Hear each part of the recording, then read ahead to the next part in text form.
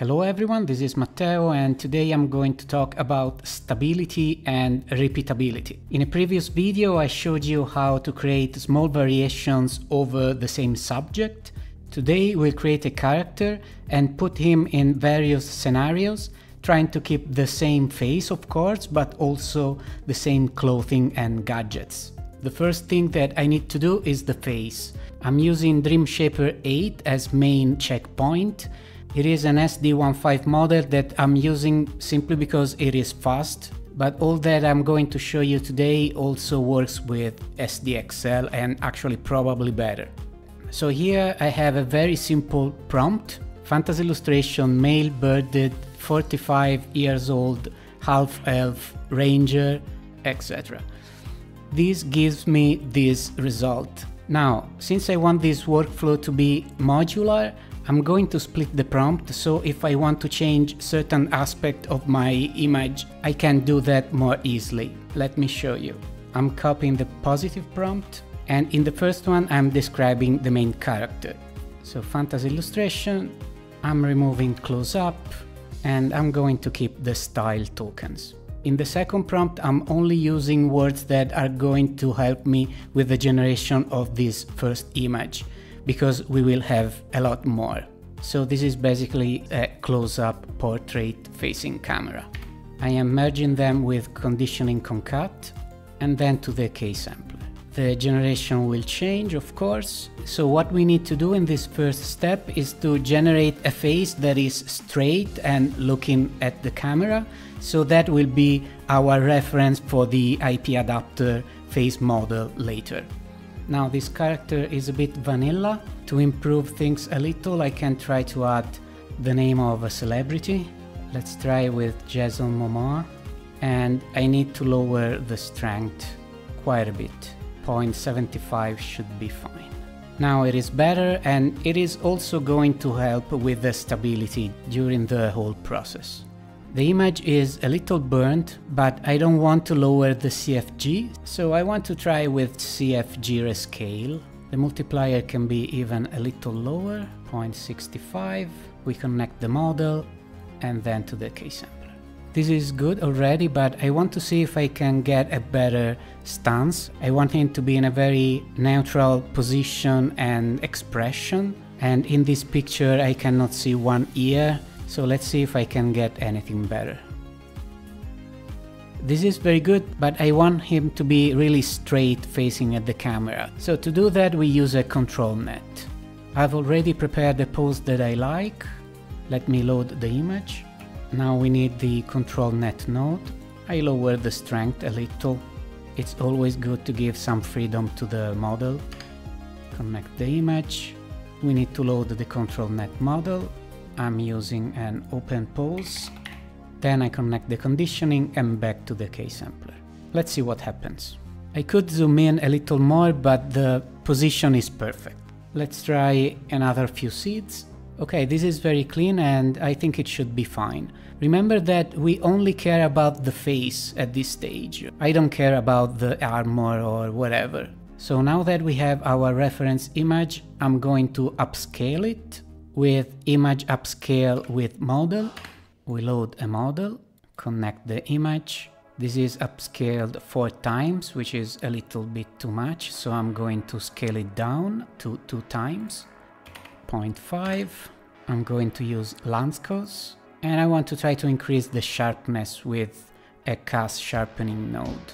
Now I'm ready for the second pass. We convert this to the latent space. We copy with Shift Control V, I get the node with all the pipe connections ready. Connect the latent, change the seed, 20 steps should be enough. Now I want the image just to be sharp. I don't care if the character is very different from the original. Let's see what we've got. We need to lower the denoise of course, 0.5, which is pretty high. Let's see. Okay, this is pretty good. Now I need to cut out the face. And for that I can use a crop image node. If you have the Comfy UI Essentials extension, you get the Image Crop Plus, which is a little easier to use, but you can also use the default node. I'm going to show you the difference. The plus one lets you select the starting point for the crop. I can select top center.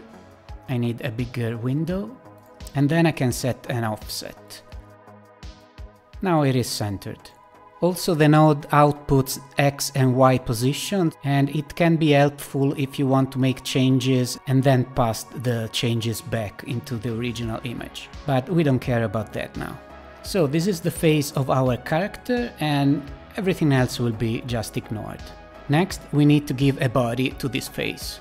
Actually before doing that let me see if I can make a new picture with this face.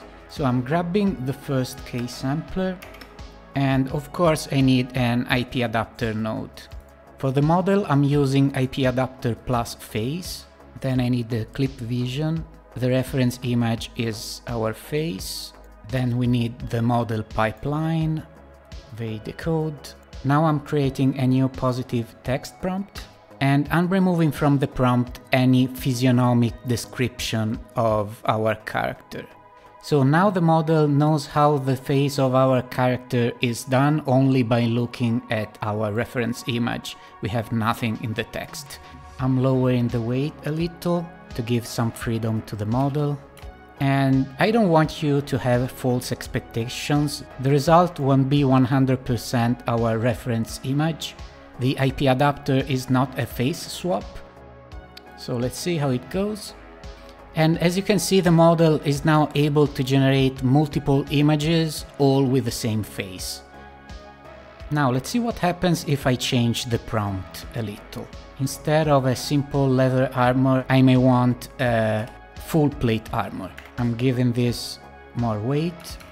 Let me also add close up. And now it's the same character but with a full plate. Now, since we used a face model, anything that doesn't regard the face is very easy for the model to do. If I want to change anything that regards the face, like the expression, we need to play a little with time stepping. So let me try with laughing. This is probably not going to work. What I can do is to stop the influence of the IP adapter at like 60%. And now he's laughing. Or angry. Oh wow, he's very mad. Let's try with an open mouth. So you'll have to play a little with the weight and the time stepping options, but you can get really interesting results.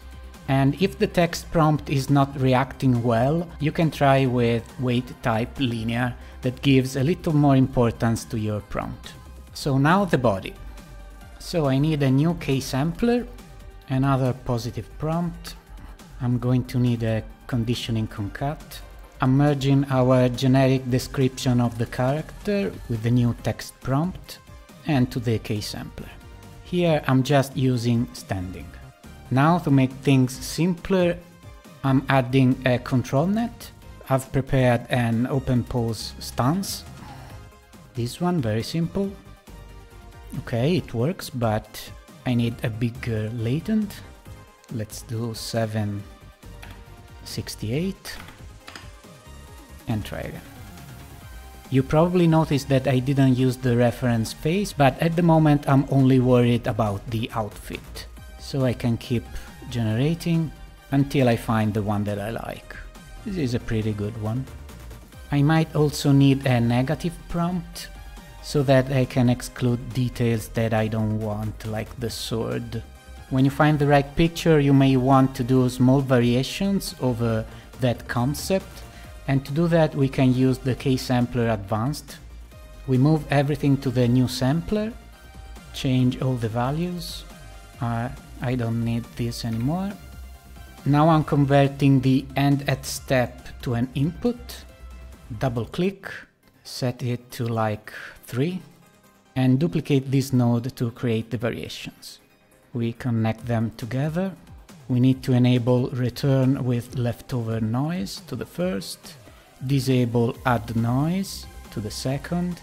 We need to set ended step back to a widget and set it to whatever big number and convert start at step to an input. Connect it to the previous primitive and so now the two K samplers are synced. I'm changing the sampler to DPM++ 2M SDE. This is because SDE is less deterministic, more random, so I get different results each time. We should be set, let's see. So now the first three steps are done by the first K-sampler and the others by the second. If I change the seed, I get a new result. Now let's build our character with all the features that we created so far. Before going to the next step, maybe I want to do a second pass over this image to get some crispiness back. So I can create a new K-sampler. I'm setting the denoise to like 0.25. Let's do 0.35. This is just to remove a few errors from the original generation. Not strictly needed actually. So this would be enough and I could fit this picture to an IP adapter but we would lose a lot of details because the clip vision encoder works with very small images. So what I'm going to do is to split my reference into two parts, uh, one for the leg and one for the torso and I can use again a crop image node. So now I have two square images that are ideal for the clip vision encoder. And of course over here I have the face. Now I need a new K-sampler, an empty latent, and let's try to compose our new character with three IP adapters. The first is for the face, the second is for the torso, and the last one for the legs. We already have the clip vision. Then for the face we use the IP adapter model that we used earlier. And we need another model for the body. I'm using the plus model. Now the model pipeline goes in the first one and then I'm daisy chaining the IP adapters. I'm increasing the noise to all of them. I want the weight of the face to be pretty high. Let's start with point 85, while the body will be a little lower, 0.7. I'm also going to need a new positive prompt that I'm merging with the original text prompt with a conditioning concat like before. I'm leaving standing for now. Standing. Let me fix the composition because I wrote stranding instead of standing. Now it is actually working but I don't have enough room to show the whole character. As you can see I always get the same outfit. It's not 100% our reference but good enough. Let me grab the control net. Now to help the IP adapter I'm going to tell each of the three nodes what part of the picture is going to influence. So I'm copying this image just as reference, adding a load image past my reference, copy this two more times. So the face should only be applied on top, about here. And I'm sending the mask to the first IP adapter. The body and the legs. Let's try again.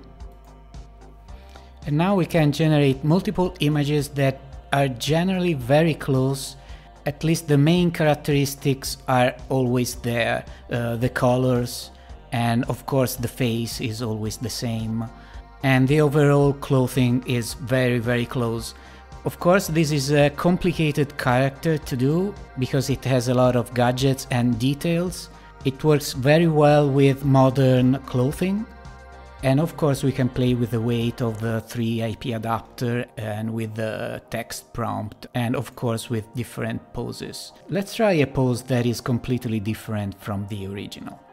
Have this pose for a person playing the lute. Of course without a line art or canny or whatever control net it won't be able to actually place a lute in his hands so I'm not even going to try but this is just to show you that we can of course use any kind of pose we want and I'm also going to change the settings like in a forest. I'm increasing the weight to 1.2 since we are going to divert substantially from the original pose, I need to give the model more freedom.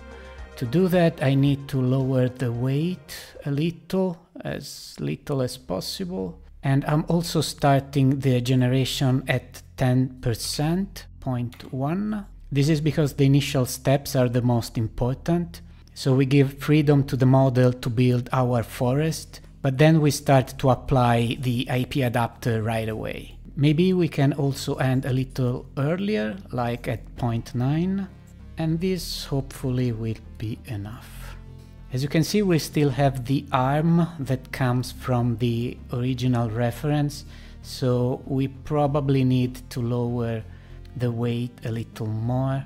And we can also use linear weight type that gives more importance to our text prompt. Still not enough.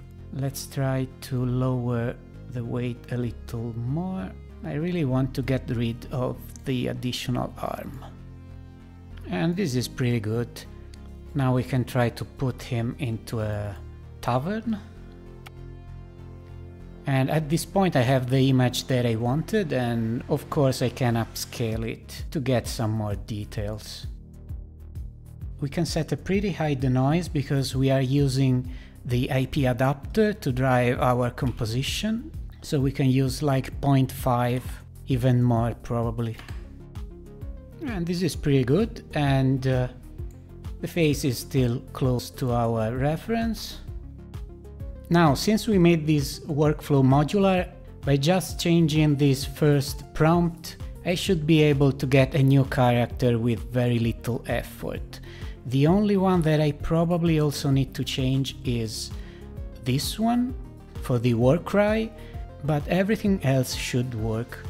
Let's try with a woman, barbarian and Rebecca Ferguson. For the ladies we need more negatives. Let's see how it goes. Of course women always get plus 3 magical armor. I would need more time for the outfit, but the face is very good and very consistent. Now let me try with something simpler. This whole process is very effective with simple modern clothing. Let me try the same woman in a modern setting and I'm sure the result will be a lot better.